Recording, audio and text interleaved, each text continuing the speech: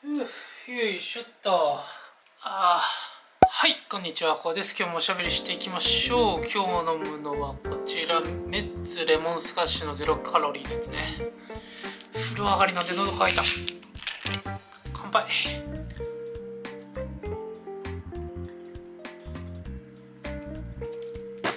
ああ甘くてゼロカロリーっていうのは本当ダイエットの味方だよね、まあ、飲んで痩せるかどうかは別にして。さて今日何話そうかっていうとね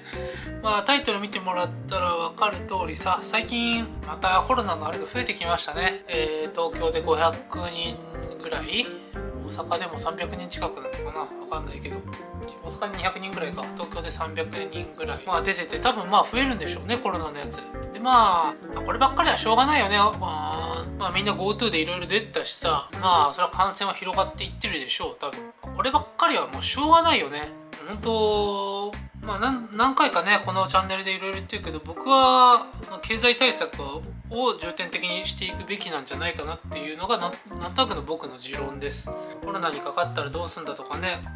誰かに移したらどうすんだって言うけどまあぶっちゃけそんな死んでないからね。仮に僕は肉親に例えば例えば僕がコロナになって僕が例えば両親に移して両親が亡くなったとしても僕はそれはしょうがないことだと思ってるんで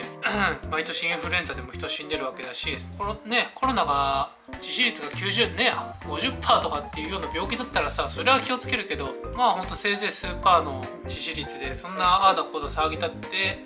経済を止める方がリスクがあるなっていうのがなんとなくの僕の今のところの主観の意見ですよね。でね、まあ、今回そういうまあそういうことを言いたいんじゃなくてコロナになったらみんねいろんな人がさ医療関係者が医療関係者がっていうのをすごい見るのよね。ツイッターでもヤフコメでも。これってなんか僕はね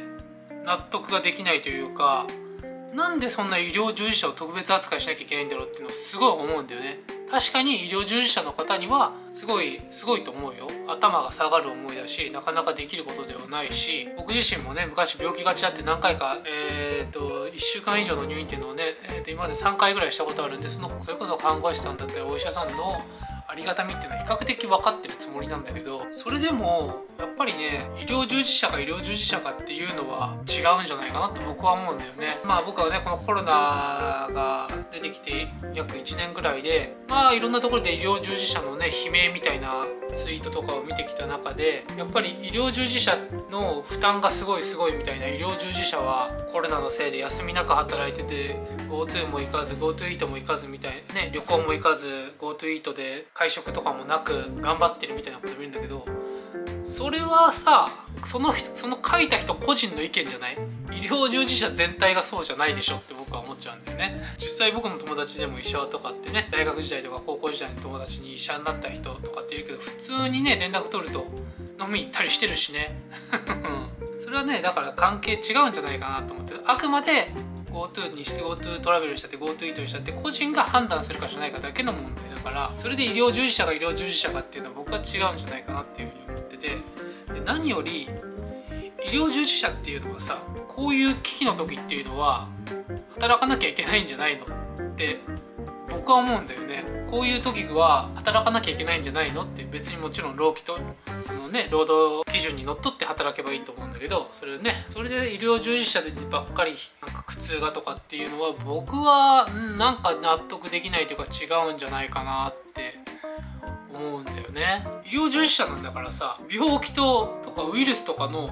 身近にいるっていうのは分かりきってるわけじゃん。インフルエンザだって毎年変異してるのにさそれに対しては何も言わないっていうのもおかしい話だしあくまで病気と身近に接する人っていうのが医療従事者なわけでしょっていう、まあ、こういうことを言ったらねお前が病気にかかったら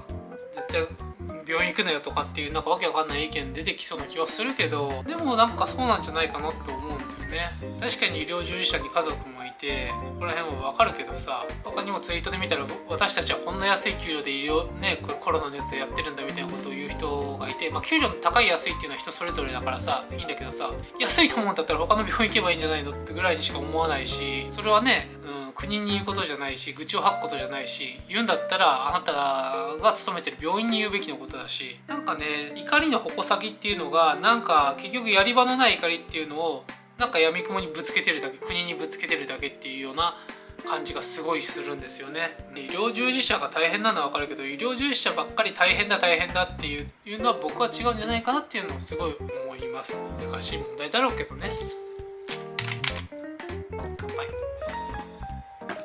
実際問題さ医療従事者だけじゃなくてみんな苦しんでるよ。何かしら。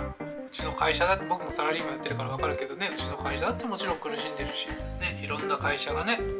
どこでしたっけパソナとかでしたっけ人材派遣会社淡路島かなんかにね本社移転させられてあれだけでも大変なのにねこうねいろんなとこにさそのいろんな人がいろんな業界で苦労っていうのをしてると思うからそれをね一つの業界だけに絞ってっていうかそのコロナでフューチャーされる業界 GoTo トラベルでその旅行会社だったりとかそれこそ医療従事者の医療関係のの業界だったりとかそういうとこだけフューチャーされてギャーギャー言うのは違うんじゃないかなっていうふうに思いますね。その人たちを助けてあげなきゃいけないしその人たち頑張らなきゃいけないっていうのはもちろんだけどその業界だけは取り立って大変だ取り立ってフューチャーするっていうのはなんか違うなっていうふうに思ったんでちょっと今回話させていただきました。乾杯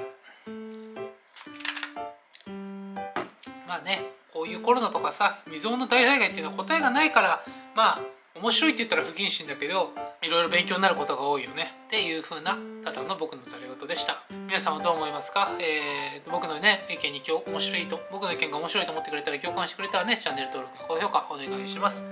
おかしいよとか思ってくれたらねコメント欄に書いてくれると嬉しいです。それでは皆さんまた次回お会いしましょう。バイバイ。